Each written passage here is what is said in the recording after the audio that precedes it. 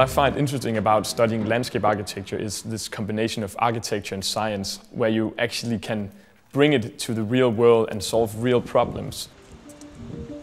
I think that landscape architecture has become my lifestyle actually. It's this merge of how I use the city and how I watch and see the city. And I really gotten this knowledge about what is it that makes a good urban environment.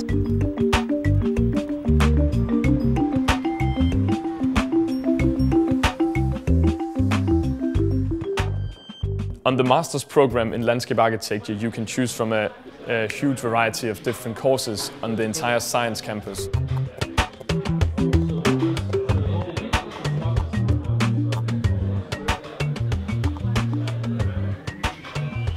It's like merging this technical knowledge with aesthetics and the design processes.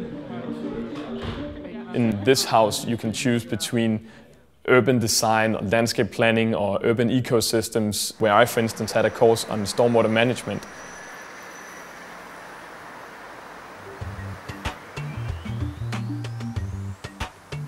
What I like about Copenhagen is that it has such a nice urban life and the easy access to water and the easy access to a social life.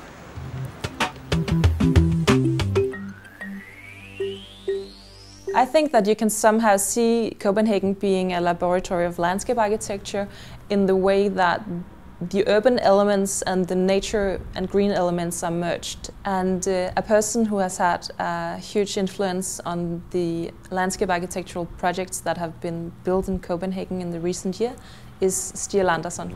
So this is not so much about how it looks like.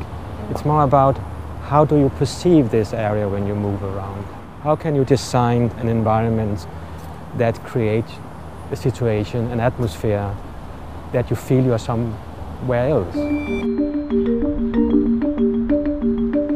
I think the university is, is an interesting place to study because you have both technical, scientific knowledge and you have also design knowledge, aesthetic knowledge. And these two together create a much better fundament for making landscape architecture. Our projects are often really intensive. You just get like a, family feeling with, uh, with your group. You become really good friends because you, you spend so much time together. I think the social life is, uh, is really good.